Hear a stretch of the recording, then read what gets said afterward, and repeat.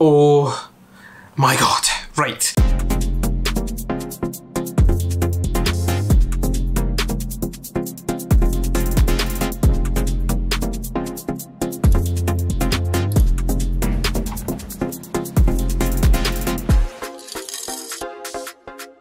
Yeah, Mondays are really boring. Hey folks, welcome to the vlog. It is Tuesday and I hope you're all doing well. If you're new here, hi, I'm Thomas. I am a PhD student in astrophysics at Cardiff University and this is my sixth, seventh week, I, don't know. I'm n number of weeks in where n is definitely still less than 10. So, welcome to the vlog. It is Tuesday morning and yesterday I basically didn't do that much vlogging. It's a couple of clips which you have just seen Mondays kind of get a bit derailed with the fact that I have lab demonstrating in the morning, which takes up my entire morning, and then I spent most of yesterday afternoon trying to crush bugs uh, in my code, not physical, not like, like little beasties. It's Tuesday morning, I'm about to jump onto Twitch to do a study stream, the first one of the week, and the plan for today is essentially get through as much of the taught components that I have for the week, and pull together some of the stuff that I was running on the server yesterday and run a few more things because I've had code that's been having issues for the last few days, but I think I've got them ironed out as of yesterday late afternoon. So I'm to get on them and try and get them fixed. But I set up the stream. I also need tea. Fast forward a few hours and I've just had lunch. I've had a fairly productive morning. I've got a few things working that weren't yesterday and I've done some of the taught components of my uh, of my PhD that I have to do as part of my CDT, but I'm going to talk more about my CDT next time. What I'm going to talk about today is why I'm doing so much coding. Like, I'm doing astrophysics, not computer science. So why is it that every time I seem to talk to the camera, I'm talking about code? Bottom line is, almost every science PhD, almost every researcher in the sciences will use code at some point. The reason we do this is because we're dealing primarily with data, and it's way easier to do with data if you're coding. Now for my PhD, there are two main types of code that I use. There's data analysis code and there's simulation code.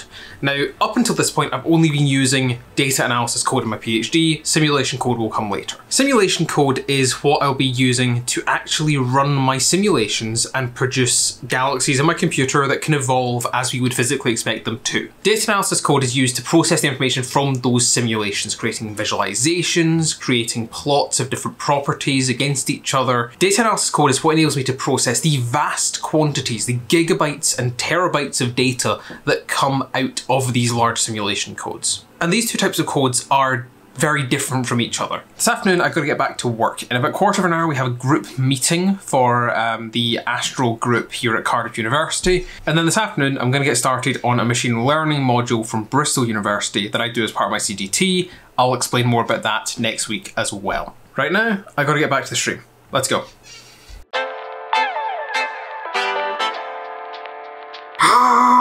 Oh my god.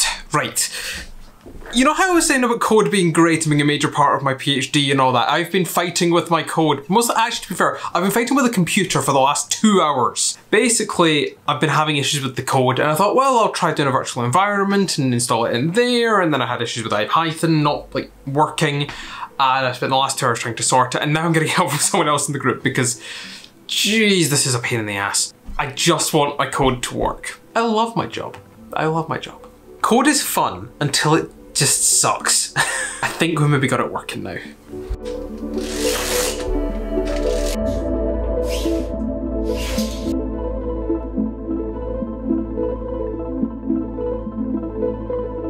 Turns out there's no seminars today, so I've had like an hour of extra work. This is great. Wednesdays are normally so unproductive, but I'm actually getting work done. Well, I say work, I'm trying to get my remote SSH working so that I can do all my code stuff on the university servers. Coding is something that I didn't always find the easiest thing in the world, but I've like through practice, through my undergrad and now into my PhD, I've actually got quite good at it. Like I'm definitely not brilliant. I'm definitely still a physicist in terms of coding, in terms of that I don't do all the things that computer scientists want me to do when I'm coding. I don't follow all the best practices, but I'm a much better programmer than I used to be. And I'm getting better every day.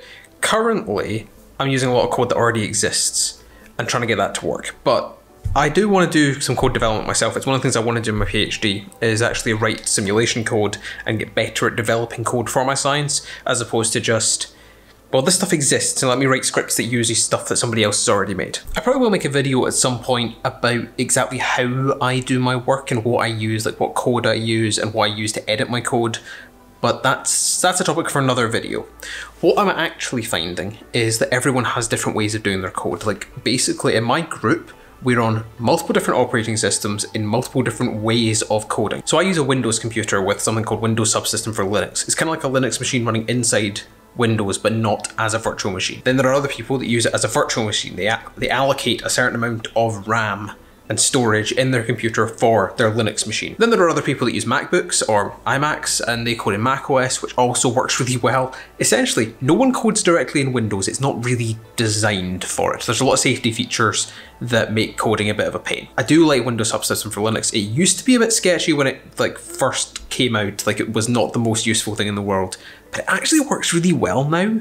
It's really quick and it means that I don't have to have virtual machines, which is amazing. Also means I don't have to dual boot anymore. I used to dual boot from a Linux like SSD. I had an SSD with a Linux install on it that I'd plug in via USB, which was not the best way to do it. I very much like having the rest of the functionality of my Windows machine because there are some things Linux just can't do. And while Linux is great for all the work that I do in terms of my astrophysics, it's really not great if I want to do, say, content creation or streaming. So if I want to do a work from home stream, like I do twice a week at the minute, I can't do that from Linux very easily. Like OBS exists, but it doesn't really work as well. It's very much got a better offering on Windows and Mac OS than it does on Linux. So being able to run Linux from within Windows is great. Besides, I connect to the university servers all the time anyway, and they're just directly Linux. Like it's realistically just where I'm connecting from. End of the workday. Let's go home. Getting the bus back. Now that it's uh, got very dark, I know it doesn't really look it in the video, now that it's got dark, I've uh, opted to take the bus rather than cycling because, I don't know, ever since it got darker in the evenings, the drivers have got, I don't know, more common, there's a lot more cars on the roads, and everyone's a lot more impatient. Makes cycling a little bit more dangerous. I'll start cycling again once the, uh, once we get a bit more light in the, uh, in the evenings. Back in the house, had dinner, and honestly, that was actually a pretty good day. Like, I didn't actually do really any real science, not not really. I spent most of the day doing sort of computery stuff. But honestly, sometimes there are days like that and I'm okay with that. Like it was a good day on the whole. I've got my remote connection working from my laptop to the university computers. Like that works now, which is awesome. It's now time to stream. I stream every week. This is not a surprise to anyone. I'm going to be on Twitch tonight playing Space Engineers because it's a bit of fun. Currently in the process of designing a hideously huge overkill ship to use as a sort of mobile base. It's essentially a base come movable ship. It's awesome. I'm really excited to play to play a game with this once I've managed to get it set up. I'll talk more about like how and why I use code tomorrow and maybe give you a bit of a sort of rundown of what exactly I'm doing at the minute. But uh, yeah, I, a full length video on this is coming at some point. For now, I gotta play some Space Engineers and I'll see you tomorrow.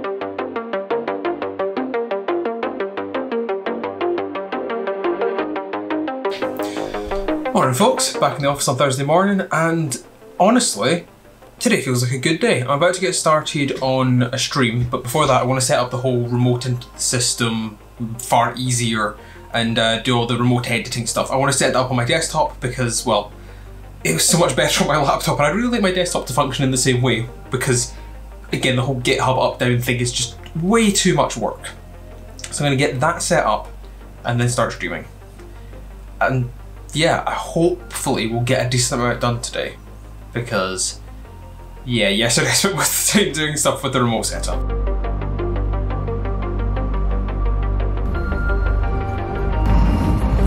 Right, Cardiff City Centre, bus was late. I'm now going to have a fairly quick walk because tonight is Astronomy on Tap which I'll tell you more about when I'm a little bit. So Astronomy on Tap is an outreach event run by some of the PhD students in the physics department at Cardiff University. And honestly, it's great. Like, I love the fact that the department is so big on uh, big on outreach. I just wish I'd been on time for this. Together are the most common type of planet we see. And again, we didn't know that before, you know, the exoplanet era. Okay, we'll need to build a rocket to escape Spoilers. Right, so we're here in Porters. I've just been at the Astronomy on Tap meeting, but like not meeting event. But before I, it's probably better if I ask someone else to explain it. So this is Andy. He's uh, one of the other PhD students in my group.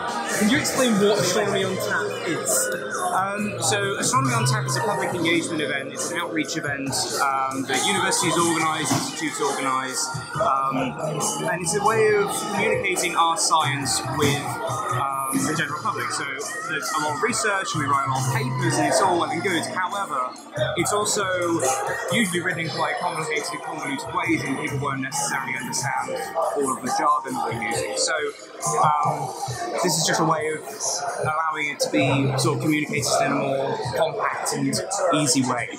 Yeah. And where did it come from? Did it start at National Astronomy meeting or? It started the National Astronomy meeting, so every year the UK hosts um, a university um, a conference, and to in the run up to that, we organised um, this Astronomy on Tap event. We ran four over June, and uh, it was a great success by the end. And now we're running one a month. It, it is a, a global thing as well, so it's, it happens all across the, the world. It started in New York, actually, I believe, um, and it's just grown from there. It's done in Germany and France, in, in all across America, and uh, yeah, we wanted to bring it to Cardiff and make sure that it was a, a sort of a very accessible thing uh, for, for everyone. Yeah, no, it's good. This is this is my first night here. I didn't come to the last one because I think I was ill at the time or something. Yeah. Um, but no, it's good. So tonight the theme was actually what was the official theme? The official theme was exploring life in space. Okay. Yeah. Yeah. So we had Subi give a talk on sort of Exoplanets, exoplanets and, like, you know, how, how we're looking for life out like Yeah, yeah, like what what what have we currently got that's evidence towards life in space, uh, and then obviously uh, the la- second talk was um, uh, Polly was giving a talk on um, what we how we have explored space so far, so the moon missions, uh, up, including upcoming missions like Artemis Yep. going to the moon and you know putting a base on there and that sort of thing. Uh, we wanted to sort of show. This thing that the sort of buzzwords and the things that everyone sort of loves, like uh, aliens. And Yeah. that sort of stuff. Yeah. For the record, we haven't found aliens yet. No, not yet. Not yet. Possibly, maybe, a few decades. One of these days, maybe. it's as close as fusion. no, thanks, Andy. No, that's all right. Morning, folks. It's Friday morning, and I, my voice is going again. Why am I getting ill again? Seriously. Um, I'll keep this brief. I have a supervisor meeting in like a minute on Zoom because I'm not going into the office today.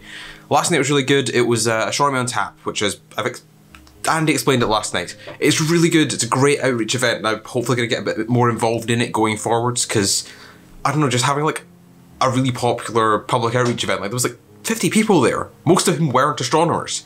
Like that's just really cool. Today I'm at home. Um, I'm gonna get on with as much work as I can possibly get done today, um, because next week I am away for reasons that will become clear in the next vlog. I'm just not gonna vlog too much today because you know my voice. I would really like to not lose it entirely. So after lunch, I watched the stream from the Behind the Research team at the University of Bath. It was really nice just having on in the background, having a bit of a chat with other people there while I was doing my work. While this was on, I managed to fix my projection issue, and then I did a little bit of work on identifying the properties of each of the satellite galaxies within my simulations. I've got the properties printing that I want, I just need to make sure that they are attached to the galaxies I think they are. This evening, I'm just gonna have a chill one. I think I'm gonna edit the next episode of the Unstable Fluid podcast that I host with Kat. It's been needing edited for a few weeks now, and I just, when I got ill the last time, I kind of fell massively behind on everything, and I still haven't quite caught up on the podcast. Hopefully, episode two will be out in the not too distant future. I hope. But yeah, I'm done working for this week. I'm signing off. And I think I'm going to sign off on the vlog until tomorrow because, oh, I'm tired.